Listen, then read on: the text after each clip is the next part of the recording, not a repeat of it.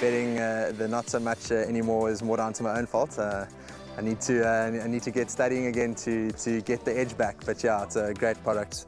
I love the exchange. It's uh, it's really it's uh, in my opinion one of the better bookmakers, if not the best bookmaker out there.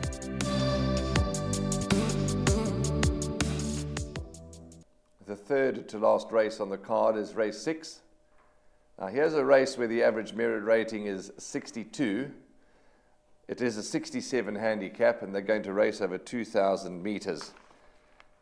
13 runners carded and 13 runners will race at the time of recording. Check scratchings and jockey changes and betting moves before you take your final bets.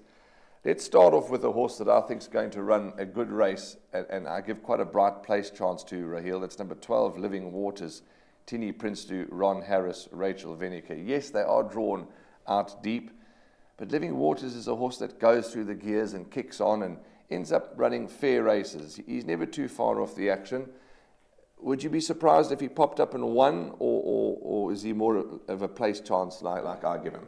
I wouldn't be surprised if he won at all, Warren. I've made him a horse to watch out for on the short list. And I think that Living Waters, if he doesn't have too much to do in the closing stages, he will be running on powerfully. He's a horse that's always running on the best or second best.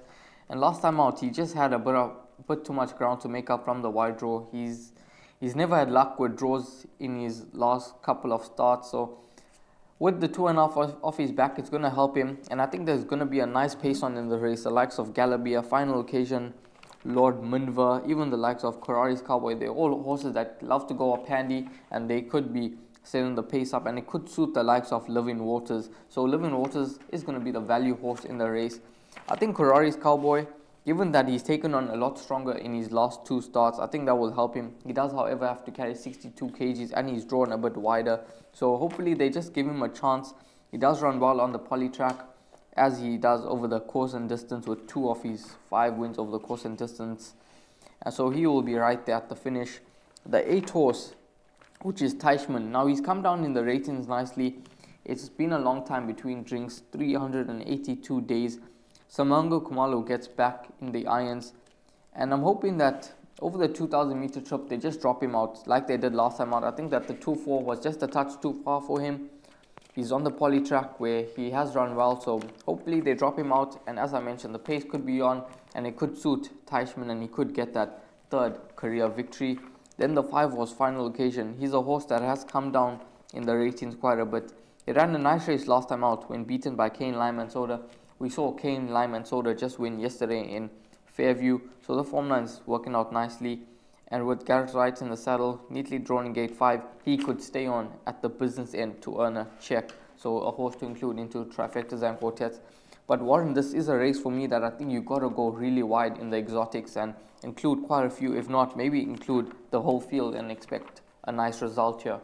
Yeah, absolutely. Sometimes, as Murphy's Law would have it, you put the whole field in wanting the result, and sometimes you get the result, but nine times out of ten, punters Murphy's Law, you put the field in, the favourite wins, but at least you survive. That's the most important thing. Two other horses we must mention in this very tough and complicated 67 handicap is number eight, uh, sorry, at least number three, Galabia uh, for Gareth Van Zyl, Mario Ferreira, and Athandiwe Mgudlwa. Their stables in good form shows plenty of pace, this horse, or, or shows that he likes to go out to the front and, and, and try and make each and every post a winning one. His overall form's good.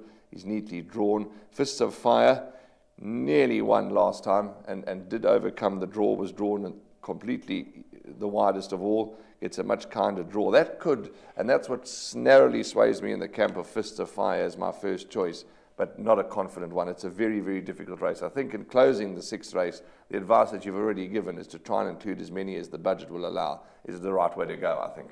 Yes, absolutely. And uh, as I mentioned, you could expect a nice result in this lineup. So probably include the field and hope for the best in this in this race. I don't don't think that you should get uh, three to one favorite here. Should be betting around five, six to one. So it is a competitive race, but include quite a few, as you've heard from Warren and myself.